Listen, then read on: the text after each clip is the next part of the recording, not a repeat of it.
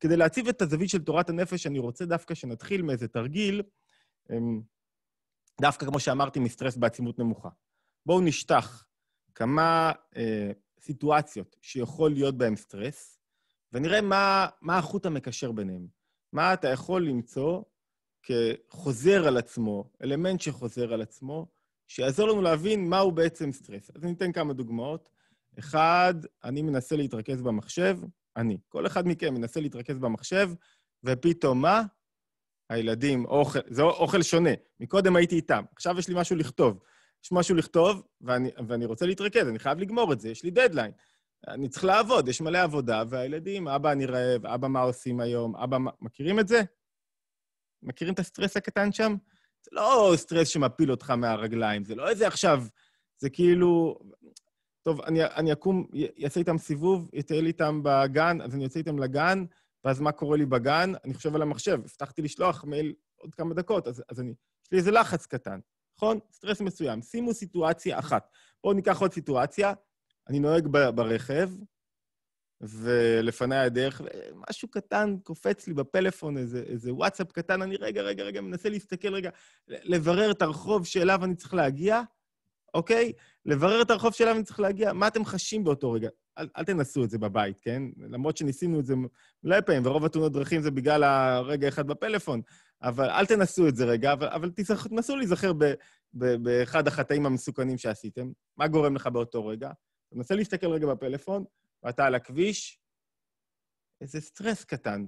מכירים את זה? זה כאילו איזה מתח קטן נוצר בין הפלאפון, אתה, אתה מרגיש את זה כאילו אתה קצת קרוע בין שני דברים. סיטואציה שנייה. סיטואציה שלישית שחשבתי עליה זה... אמ, יש כל מיני מערכות יחסים שבו מישהו יותר מדי דואג לאחרים.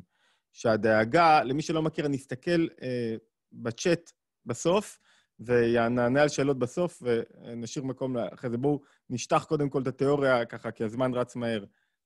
אמ, יש מערכות יחסים שאתה מאוד, אחד דואג מאוד לשני. אז, אז בתוך מערכת יחסים כזאת, דמיינו לכם שהאדם שה, הדואג, נקרא לו כך, הוא עכשיו יצא לאיזה חופשה.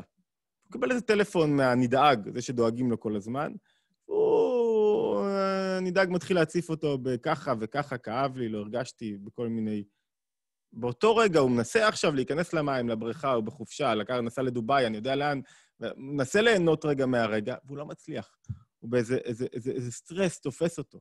זה, זה קורה לך בזה, וזה קורה שאתה פתאום יוצא לרוץ, ואיזה מישהו שולח לך, אתה פתאום מסתכל בטלפון, ורואה שבדיוק עכשיו צריכים אותך לאיזה עניין מסוים, או בדיוק עכשיו אפילו לא צריכים אותך.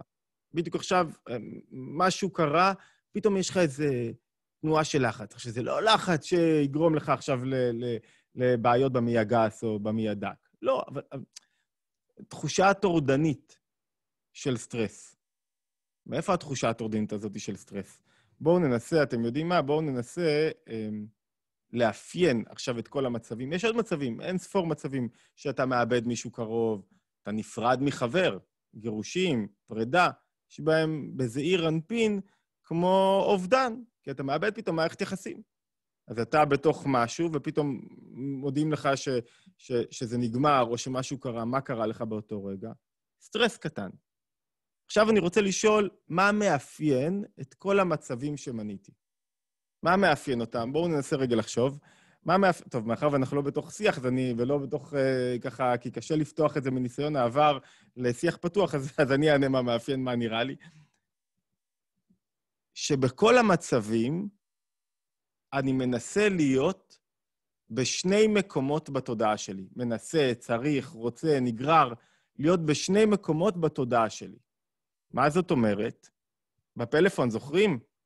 אני רוצה להיות בפלאפון, והכביש קורא לי, שניהם בו זמנית. אני, אני, אני כאילו בסוג של מתח. אני רוצה להיות פה ופה, והמתח הזה הוא זה שמעורר לי את הסטרס.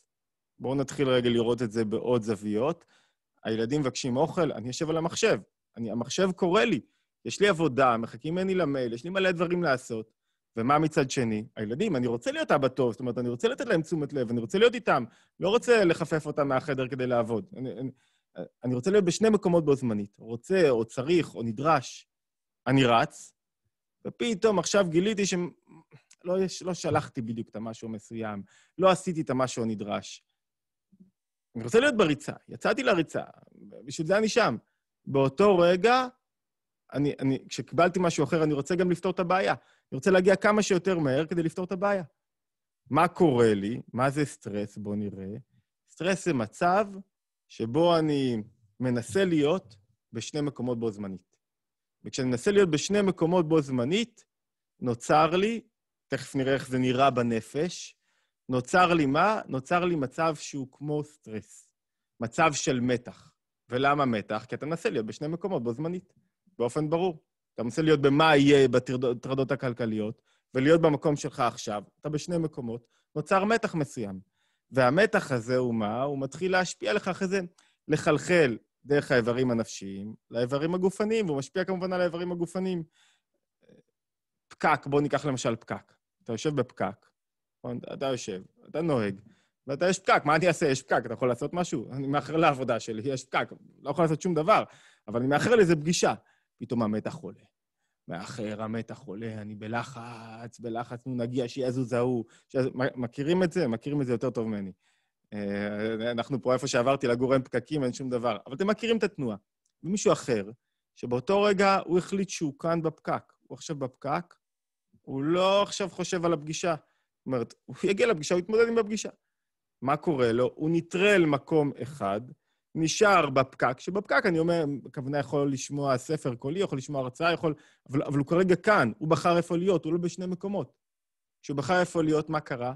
התפוגג הסטרס. בחרתי להיות עם הילדים, ברגע שבחרתי להיות עם הילדים, התפוגג הסטרס. ברגע שבחרתי להיות עם המחשב, אמרתי לילדים, חבר'ה, אני עכשיו עם המחשב, התפוגג הסטרס. עזבתי את הטלפון, לא מעניין מה ההודעה ששלחו לי, התפוגג הסטרס. אוקיי.